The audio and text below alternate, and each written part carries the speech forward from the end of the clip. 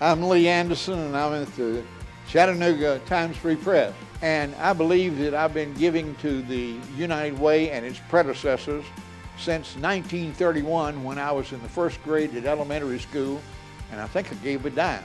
I was taught in Sunday school that that's the way you're supposed to be. You're supposed to give what you can or whatever you have to help somebody else. And that eventually I would get tapped to be the general chairman of the United Way, and uh, that was in 1979, I believe. When you look around and think of the good things that can be done with just a little bit it's not a sacrifice at all. It's a wonderful thing.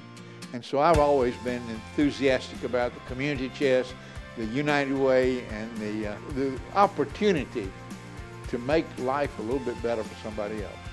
It's not given just generously and generally. It's given generously to something that is a real need.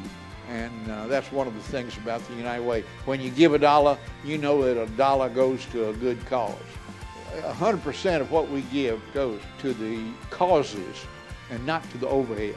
But one of the great things about Chattanooga is that generous Chattanoogans give in advance to head off need or to meet need or to give a helping hand up. So we're not just talking about the down and out, we're talking about the people who are coming up. Because of the United Way, there'll be more people better off tomorrow. Take my hand and start a brand new day. And together